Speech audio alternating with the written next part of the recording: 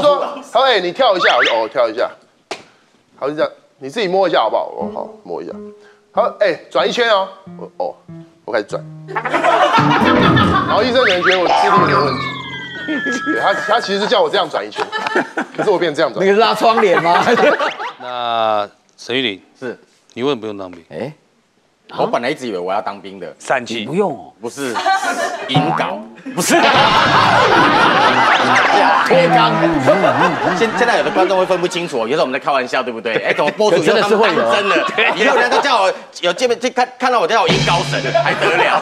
沈引稿，没有是为什么？后来当兵不是要体检吗？对后来才发现说两眼视差过大，哦啊，一一边八百度，一边一百度，好像差五百，五百以上就不用，五五百百以就不用。对，那是那是差。那你当时的心情是开心还是？开心。其实我非常落寞，是不是我非常落寞，因为我爸爸自己是职业军人啊。那你知道那个那个家里的荣誉。对啊，那个爸爸一定都希望说我们能够报效国家嘛。是是是啊，恨不得我去考那个陆军官校。真的哦那小时候都给我们看那种什么《剑桥英烈传》啊，黄埔军魂英烈千秋啊，八百壮士啊，黄埔军魂，对，都给我们看这种电影。梅花所以一旦我去检查，发现说，哎，不用当的时候，那种落寞跟沮丧哦，好像我我我做了什么错事一样。哎呀我记得在回家的途中，我爸爸还拍我肩膀哦，说没关系没关系，不要伤心，再加油加油。是要把那个拍出来。我想说，我又不是考试落榜，而且不用当就不用当，怎么加油？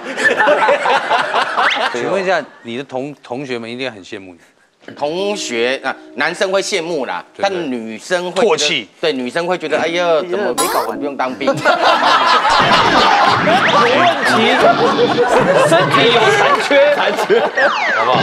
对呀他是要有你哪一点？那个时候不用当兵，不是因不只是因为太高了，是因为我去体检的时候出了一点问题。为什么呢？因为那个时候体检不是要摸几级吗？哎呦哎呦哎对啊！你确定要讲子？你老婆在看呢。没关系，没关系，所以一摸没有，不是不是，他就那个手会碰一下你的对啊会啊。六颗，然后我就很不舒服啊，我就有点脚有点软。还是他说，他说哎，你跳一下，我就哦跳一下，他就这样，你自己摸一下好不好？我好摸一下。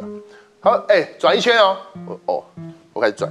然后医生可能觉得我智力有点问题，对他他其实是叫我这样转一圈，可是我变成这样转那。个是拉窗帘吗？OK，可是有问题，真的有问题。你也不用去部队里面打球啊，很多人不都去什么飞陀？飞陀啊，，那个时候其实有篮球替代役，但是只要一九六以上就不用当兵了，所以我还是太高，哦所以说飞陀篮球队都没有一九六以上。没有。